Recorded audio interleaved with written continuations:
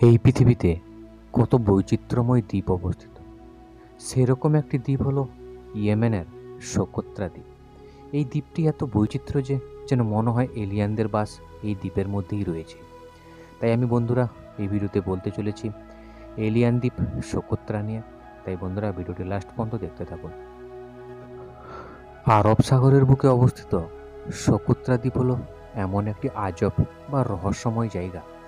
যেখানে স্থানিক উদ্ভিদ ও প্রাণী প্রজাতির সংমিশ্রণে এক স্বতন্ত্র পরিবেশ সৃষ্টি হয়েছে, যা আমাদের চেনা পৃথিবী থেকে কিছুটা ভিন্ন।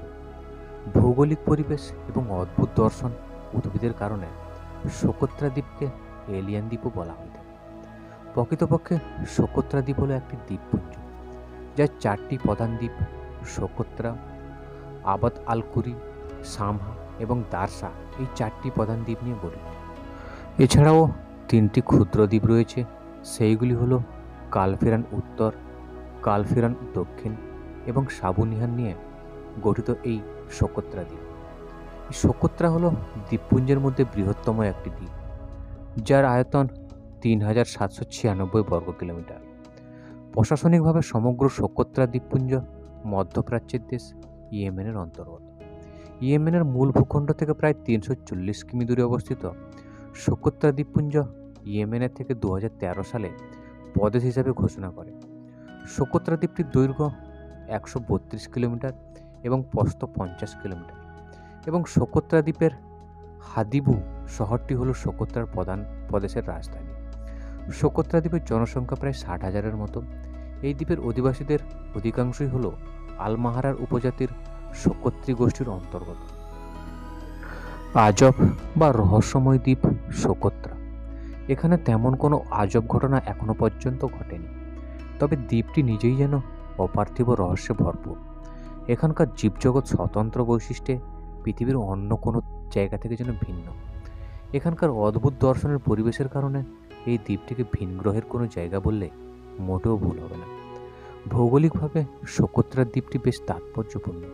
এই দ্বীপে মূলত তিন প্রকারের ভূপ্রকৃতি দেখা যায়। হাজির পর্বত চুনাপাথর গঠিত মালভূমি এবং সংকীর্ণ উপকূলীয় সমভূমি। এখানে বার্ষিক বৃষ্টিপাতের পরিমাণ মাত্র কুড়ি সেন্টিমিটার হলেও এখানে প্রায় সারা বছরই হালকা পরিমাণে বৃষ্টি হয়। অক্টোবর থেকে ডিসেম্বর মাস পর্যন্ত বেশি বৃষ্টিপাত হয়। সারা বছর এই দ্বীপের তাপমাত্রা প্রায় সাতাশ ডিগ্রি থেকে চৌত্রিশ ডিগ্রি মধ্যে ঘোরাফেরি করে। সোকোত্রা দ্বীপের সবচেয়ে অদ্ভুত কাজ হলো ড্রাগন ব্লাড ট্রি। যা সোকোত্রা ড্রাগন ট্রিমিও নামেও পরিচিত। এই গাছটি দেখতে একবারে ব্যাঙের ছাতার মতো। উচ্চতায় প্রায় বড় জোর সাত থেকে আট ফুট। অদ্ভুত গরনের ছাতাকৃতি এই গাছটির লাল বর্ণের আঠালো পদার্থ বা রেজিন বের হয়। এই লাল রঙের রেজিন ড্রাগনের রক্ত নামেও পরিচিত, যা থেকে এই গাছের নামকরণ। এই গাছের আঠার রং থেকে তৈরি হয় যে কালার, সেটা বার্নিশের কাজে ব্যবহৃত হয়। আর একটি বিশেষ উদ্ভিদ হলো কিউকাম্বার ট্রি, অর্থাৎ শশা গাছ। বোতল আকৃতির মোটা গুঁড়িযুক্ত কাণ্ড লম্বা হয়ে ওপরে পাতার ছোট ছোট স্তূপ হয়ে যায়। সেখানে হলুদ গোলাপি ফুল ফোটে। উভয় লিঙ্গ এই গাছের জন্ম দ্বীপের বয়সের প্রায় দ্বিগুণ আগে থেকেই গবেষকরা প্রমাণ পেয়েছে অর্থাৎ যে কোনো এক সময় এই গাছ মূল ভূখণ্ডে ছিল, যা বর্তমানে শুধু এই দ্বীপেই পাওয়া যায়।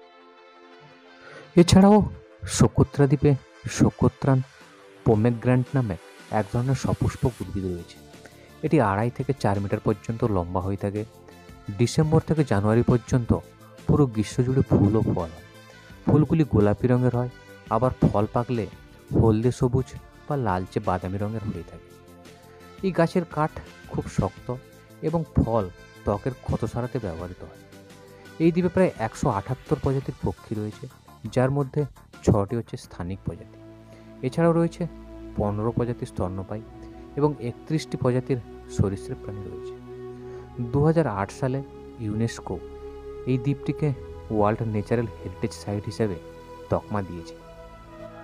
তাই সমস্ত দর্শক বন্ধুদের কাছে আবেদন রাখব, এই এলিয়ান দ্বীপে একবার করে ঘুরে আসুন।